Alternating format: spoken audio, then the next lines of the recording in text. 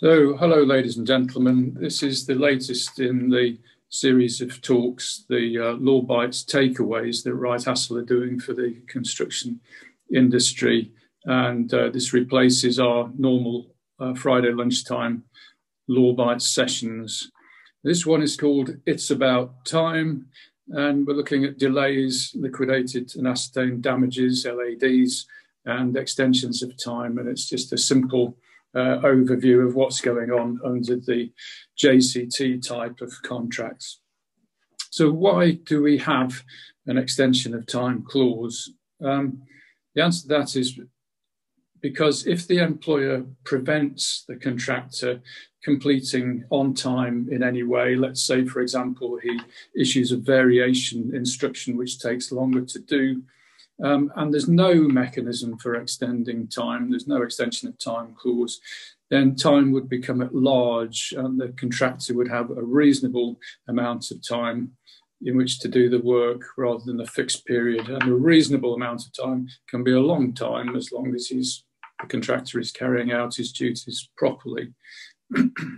so if the employer prevents the completion date being achieved, um, and there's no extension of time clause, then also he cannot recover liquidated damages. He can't do that unless there's an extension of time clause. And all of that comes out of an early case, Peak, uh, P E A K, and McKinney, uh, which is in the first uh, building law report, one building law report. Um, a very early case. So why do we have an extension of time clause? Um, the extension of time clause stops time being at large and it keeps alive the liquidated damages provision because you can extend time, you can move the um, completion date back and then take your liquidated damages from the extended time. So there are circumstances when time is at large, and I'm just going to list some of these. So as we've said, if there's an act of prevention which prevents the contractor completing and there's no extending uh, clause or relevant event, which is an event which entitles you to an extension of time, then time would be at large. If the provisions have not been properly administered in relation to uh, time and extensions of time, so let's say it, it, the contract says if the contract administrator dies, he is to be replaced within 14 days. he is not replaced within 14 days. Um, and so there's nobody to extend the time under the contract, so time becomes at large. Or there's been a waiver of the original time requirements, which is surprisingly common. Jack says to Ted in the pub, Look, I'm not going to hold you to the original completion date. Or there's interference by the employer in the certifying process, so he wrongly interferes with the impartial certifying process of the contract administrator. Or for any any other reason, the that mechanism for time simply breaks down. so let's look at liquidated damages. What are liquidated damages? Um, well, damages are financial compensation for a breach of contract and liquidated damages are capable of calculation by mere arithmetic. So if we know it's uh, £2,000 a week and we've got two weeks delay, then we've got £4,000 liquidated damages. They're capable of being assessed um, even before there's a breach because we've pre agreed them. They are agreed damages and they are calculated before or at the time the contract is made, so at the latest by the time the contract is made. And the law has moved on in recent years, um, but the position now is that liquidated damages are damages which must not be disproportionate to the breach of contract which caused the breach. So they mustn't be a disproportionate level of damages. Um, they are claimable without loss, um, and they're claimable um, without having to prove the loss. So let's say um, a building is due to be completed by the 1st of February, and it's known that at that stage three tenants will move in, and each tenant is going to pay £1,000 per week Um, but because of the recession, all of those tenants drop away. So you haven't got any tenants to move in on completion. So you're not really suffering a loss of income. Um, but you would still be able to take your liquidated damages because they've been pre agreed. Um, even though there was no loss, uh, you wouldn't have to prove any loss. So, what's the distinction between liquidated damages and penalties? Well, liquidated damages are enforceable at law, and penalties are not enforceable as a matter of public policy. It doesn't matter whether the clause is called a penalty or called liquidated damages, the courts will interpret it and decide, but prima facie people are supposed to mean what they say. And the case that fairly recently deals with these issues is the case, the Supreme Court case of Cavendish Square Holdings against Makdessi. And you'll also sometimes hear it referred to as the ParkingEye case because that case was also being heard at the same time. And the court laid emphasis on the fact that a penalty is a deterrent.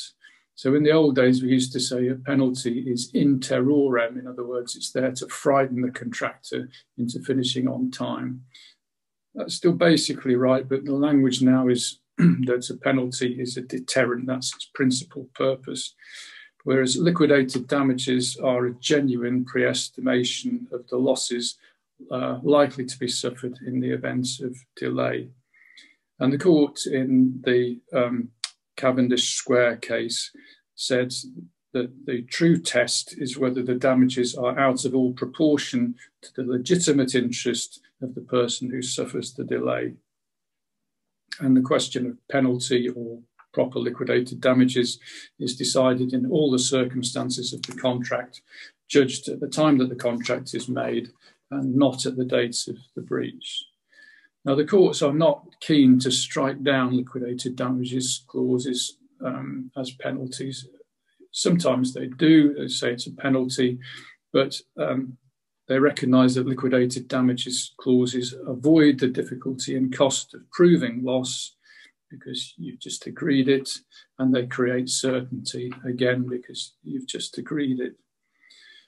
Are liquidated damages an exhaustive remedy? So, if you've got a liquidated damages provision, is that all that you can get uh, for delay losses? And the answer to that is basically yes. And the main case on that was a case called Temloc, T E M L O C, against Errill, E R R I L L. Uh, and nil was inserted in the contract. It was a JCT 80 contract for damages. Uh, the contract finished late, and the employer tried to claim general damages for delay, saying, Well, we've got no liquidated damages, so I'll have my general delay damages. And the court said, No, um, this business of liquidated damages are an exhaustive remedy. Um, and because you put nil in, the ceiling also met the floor. Uh, there's nothing in between. So there were no liquidated damages, nil, but that determines that there was no right to claim general damages either. So they are an exhaustive remedy. So if we're under a JCT contract, um, what do we have to do as an employer to take our liquidated damages? Three things really. There should be a certificate, or if it's a design build contract, a notice of non completion. Certificate of non completion is one. Then there must be a notice of intention to deduct liquidated damages. Two, that must be that notice. and three, there has to be what we call Construction Act compliance, which means that you have to serve a pay less notice, uh, deducting the liquidated damages, and they have to be served in the time and as required under the JCT contracts. what happens in the event of termination or in the event that the contractor just doesn't complete the job. Well, that was looked at in the Court of Appeal case of Triple Point Technology Inc. and PTT Public Co. Triple Point never finished the works, and the issue was whether, therefore, liquidated damages could be taken. And the Court of Appeal looked at a House of Lords case, so a top court case, um, in Glanzstoff, which was a 1912 case, so a very old case. But in that case, the court had said that liquidated damages only applied uh, where the contractor had completed the works. So if it was terminated for insolvency um, of the contractor, then you couldn't take liquidated damages. Now, it seems that if the contract has sectional completion dates and one or more of those sections has been completed, then you can take liquidated damages for those individual sections. Um, but if it's, if it's not sectional and the contract is terminated for the contractor's insolvency, then you can't have liquidated damages, you just get general damages for delay. The next thing is looking at it from the point of view of the contractor, and the contractor claiming his delay losses where he is delayed. And the leading case on that is Glenlion against Guinness. And this was all about the program. So the contractor had a fairly um, opportunistic, let's call it, program um, where he intended to finish before the contract completion date. He was delayed beyond his own programmed completion date. And so he said, Look, I've been delayed. I want uh, to claim my delay losses.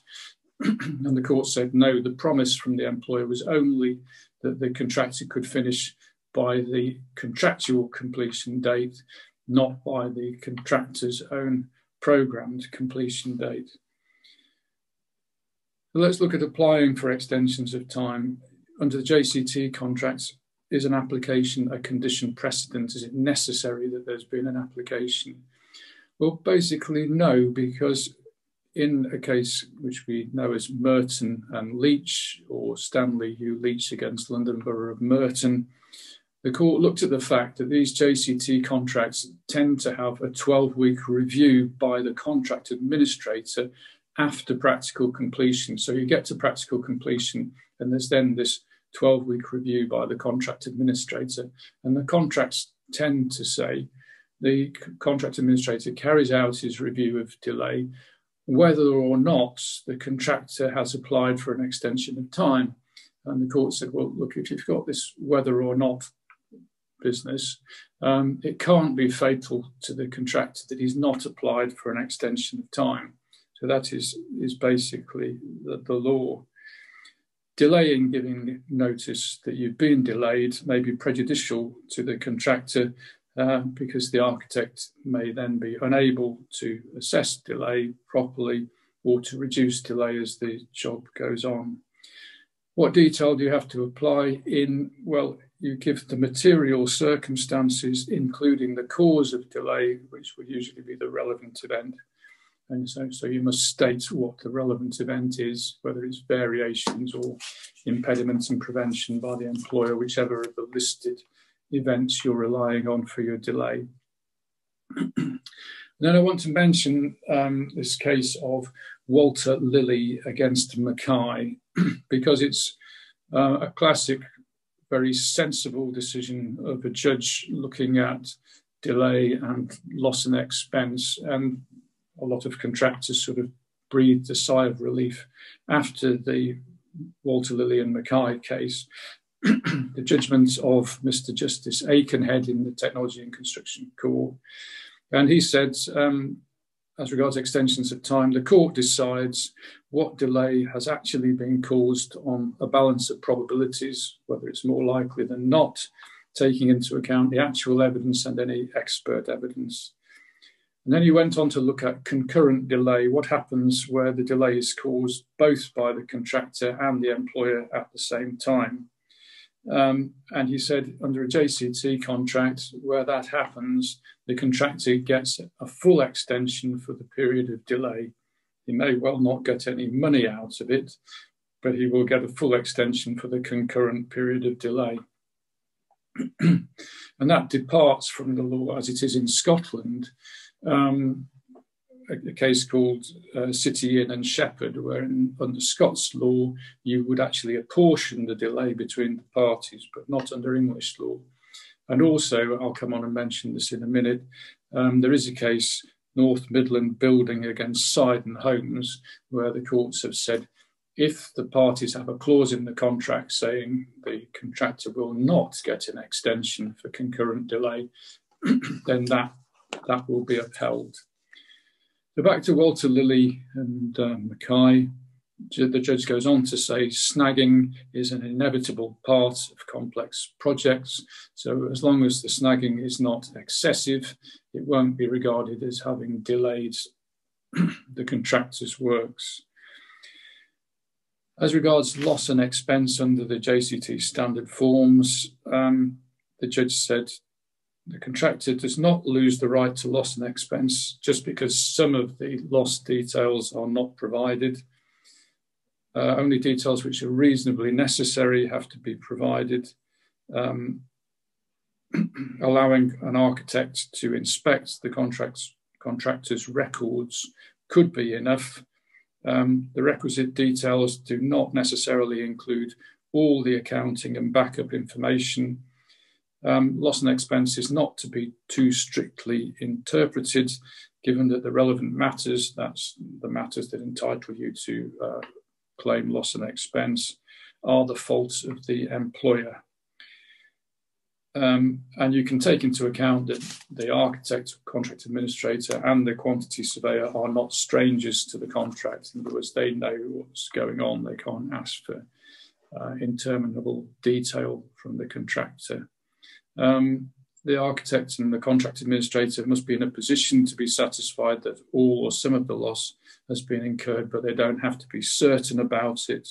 He then looks at global claims. These are where you say, or in the old days, you would say, we can't disentangle the various causes of this delay, so we're going to have to put in a rolled up uh, claim.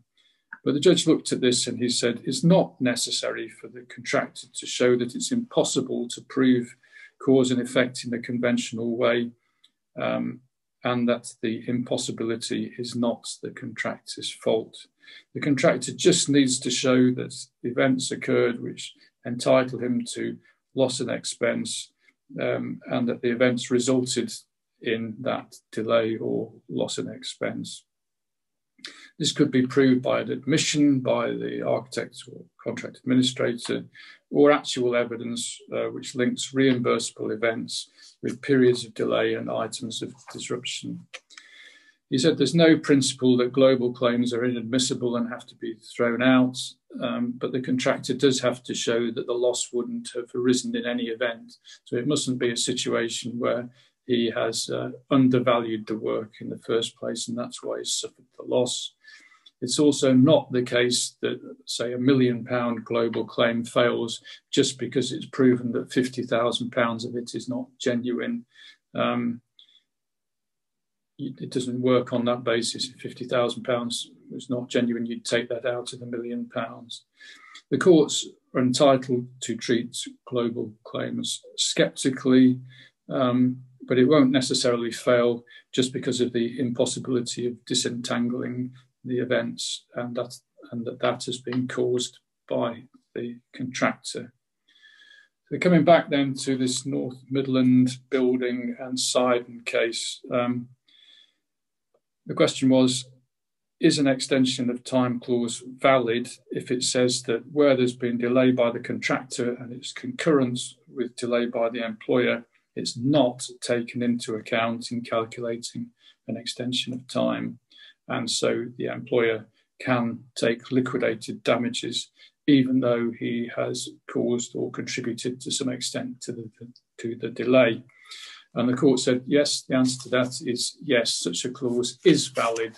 And it gave five reasons for that, which I won't go into the details of, but it concluded by saying uh, the allocation of risk within this clause was one that the parties were entitled to agree on. So the court was saying it's up to the parties how they deal with this, how they distribute the risk. And even though the employer could take liquidated damages where he had caused some period of delay himself, um, that was okay because that was a reasonable allocation of risk. So those are just some brief points on time, extensions of time, delays, and loss in expense. And uh, I hope that's been useful. Thank you very much.